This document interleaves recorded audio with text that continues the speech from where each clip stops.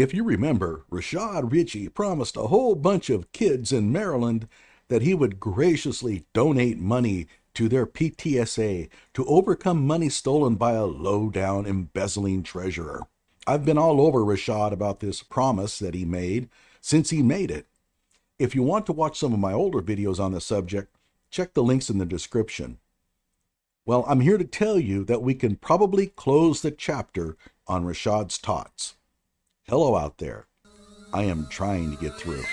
With cold, blunt analysis cradled in the warmth of reasoning, it's time for Johnnie Walker Dread to straighten you out on a thing or two.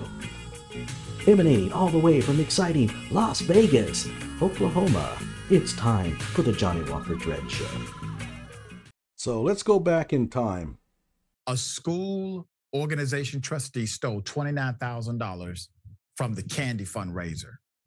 Put up the picture full mass. Hell of a story. Very sad indeed.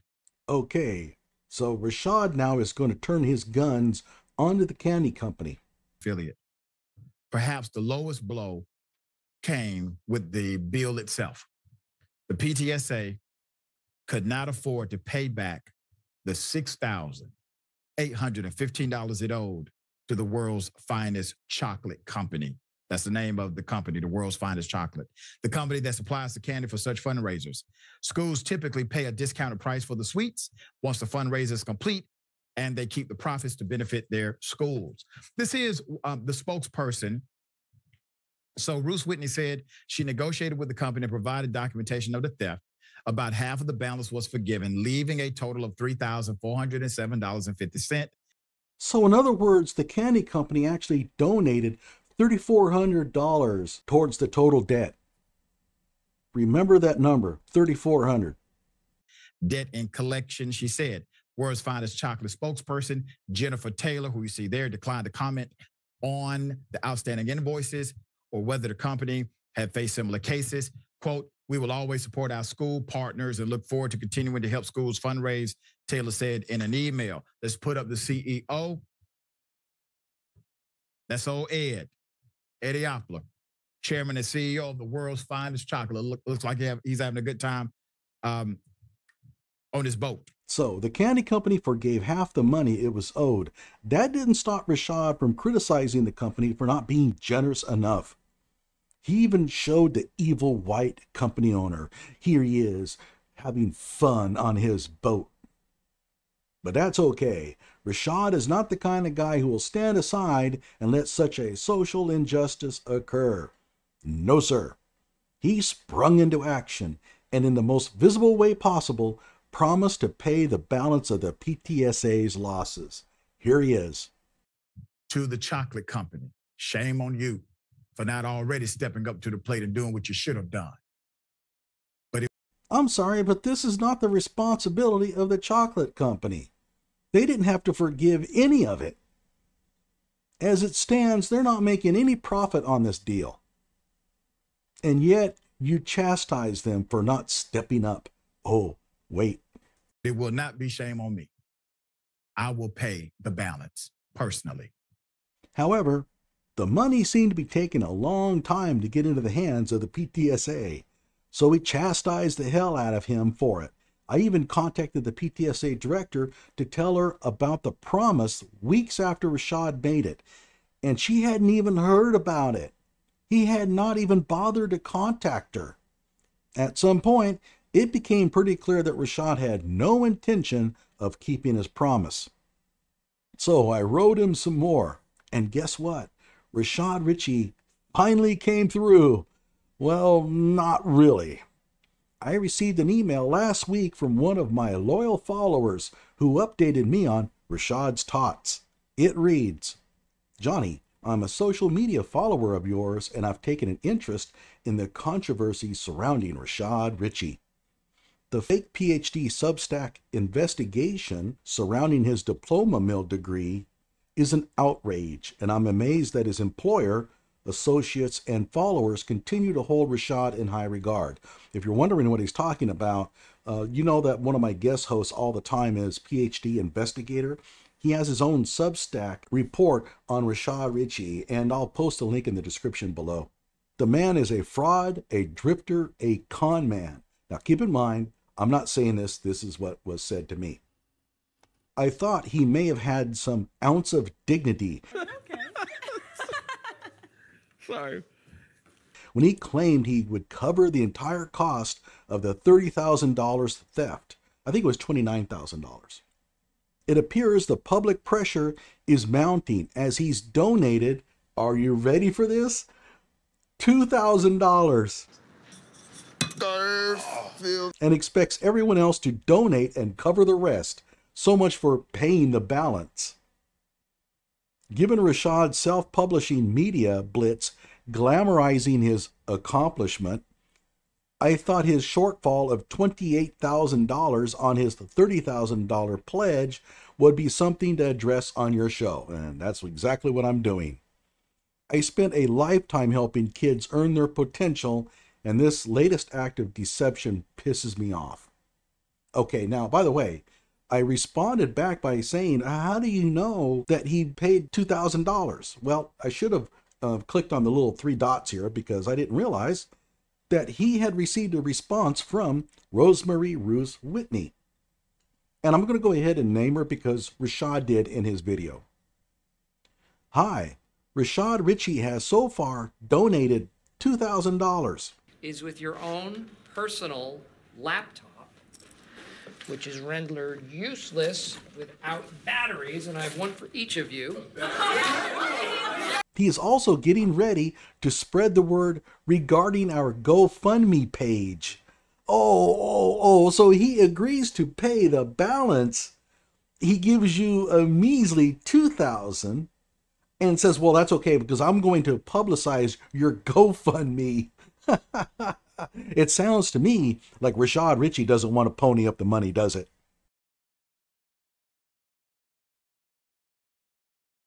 We have also received 1675 through a PTA donation link I created. I hope this helps. The school would appreciate any donations from your midshipmen and staff members. Okay, so the original loss was $29,000. They got 9,000 of it back. That's 20,000. And they got about let's say $1,500 back from somebody else. So you're still looking at $17,000 plus and Rashad gave 2000. He promised to pay the balance. The balance is over $17,000. He only paid 2. I've made some empty promises in my life, but hands down, that was the most generous. From a PR standpoint, this is worse than stiffing the kids. At least when you stiff the kids, there's always the possibility that somehow I miscommunicated. Or perhaps something happened to my check, or, or maybe the check is in the mail. But once he donated $2,000, all that goes out the window. He promised to pay the balance of what the culprit couldn't pay back, but only gave them a small fraction of the money. It's like peeling out of a parking lot in your hot rod and having the engine cough and sputter. Now everyone knows what you have under the hood. By the way, who in here believes that if it hadn't been for people like me hounding him, that the PTSA would have received a single dime? That's right. It took a grassroots uprising to pry any money from Rashad's clenched fist. Just to get a firm handle on the depths of his empty promise, here is Rashad crowing about his generosity on Twitter. It says, Stepping up doesn't require wealth, just heart. Uh, no, Rashad, it actually requires wealth if you're promising money. And it also requires commitment. But like the kamikaze pilot on his 15th mission, uh, you came up short in that area. Going back to the Twitter, the treasurer stole over $29,000 from the elementary school, eliminating their after school programs. The multi million dollar fundraising company did not forgive total debt. Like, why should they? They're not under any such obligation. And it says, here's the full article. And here's an article written in Business News Trend. Oh my gosh. This thing really made the news. Man steals $30,000 from school Dr. Richey offers to pay balance. And you notice the odd headline. It says, Dr. Richey offers to pay the balance as if it's understood who Dr. Richey actually is. Gee, I wonder why this news outlet would assume that the reader would know that it's talking about Rashad Richey. Well, we go to Fake PhD Investigations, the Substack I was telling you about earlier, and he has a special column on Rashad Richey. Now let's scroll down. So here are some websites that all have the same IP address. These are all news magazines New York Inquisitor, Science News Watch. Uh, we've talked about that one before. American News Now. Look, all have the same IP address. And guess what? Right there to your right, Rashad Richey. He owns all of these magazines. And of course, they're not real magazines. They just stream in various news and allows him opportunities to write articles about himself and then publish them. And you'll notice down at the bottom, businessnewstrend.com. Read it, businessnewstrend.com. If you're curious about what the article says, well, guess what? You're out of luck. It no longer exists probably took on too much heat. So let me explain how disgusting this really is.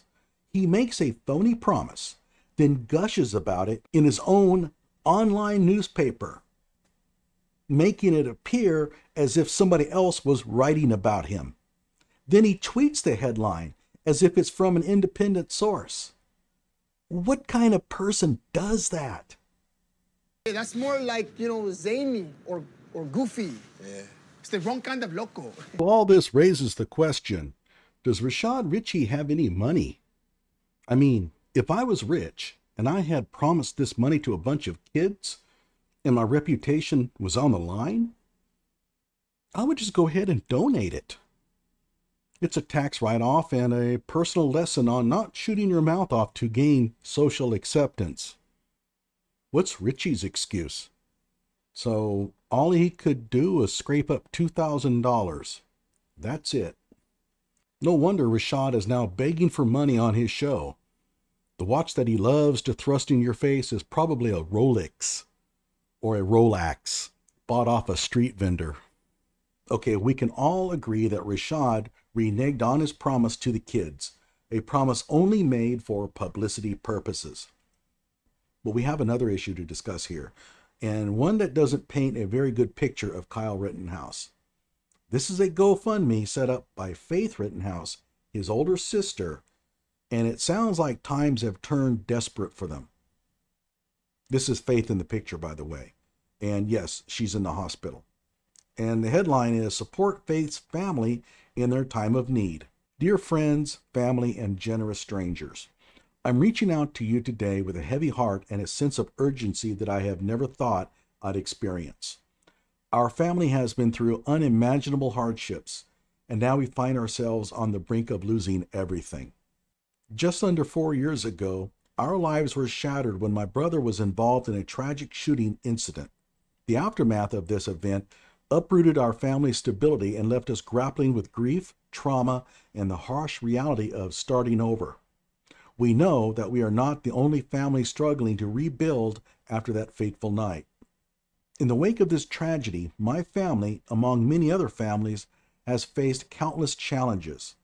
We've had difficulty obtaining and maintaining employment due to the fact that many people still believe my mother drove Kyle or was somehow involved in his decision to go to Kenosha. Hey, all you Kyle fans out there, you see these posts all the time about Kyle's mom drove him to the protest. Kyle's mom gave him the gun. It causes real harm. Moving on. We have struggled emotionally, mentally, and financially to piece our lives back together.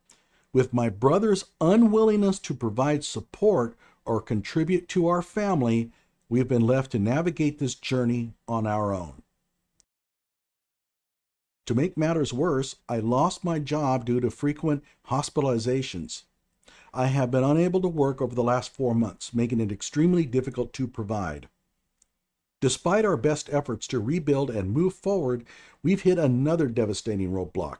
We have fallen behind on rent, and now we're facing eviction with only eight days left in our apartment. Eight days, guys. This is important. The thought of losing our home, our sanctuary in the midst of chaos, is overwhelming and terrifying, and I can totally understand that. We've exhausted every resource available to us, but we're still coming up short. The reality is that we have nowhere else to turn, and time is running out. We're pleading for your help, your generosity, and your compassion to see us through this crisis. Guys, if you can donate any money at all, 10 bucks, 15 bucks, 20 bucks, 25, anything you can donate, that will help, okay? I am going to donate. I'm going to post up $133. So when you see 133, you'll know it's from me. And I'm urging you to come out and, and give them something. Try to help them out. In even a small amount, it all adds up. Your donation, no matter how small, will go directly towards preventing our eviction and ensuring that my family has a roof over our heads. Whether it's covering rent, utilities, or even helping us find temporary housing, your support will make an immeasurable difference in our lives. Keep in mind, um, Kyle is running around making all these public appearances. He's living it up. He's having a great time. And his family is facing eviction. So help him out. But beyond financial assistance, we're also asking for your kindness and empathy. Please share our story, spread the word about our campaign, and help us reach as many compassionate souls as possible. Hey, you followers of mine on Twitter, would it kill you to repost my video so that others can see it? This has been a real pet peeve of mine. Okay? Um, I put out these videos, I put a lot of work into them, and nobody shares them. That's one of the reasons why I only have about a thousand subscribers after three years. So come on.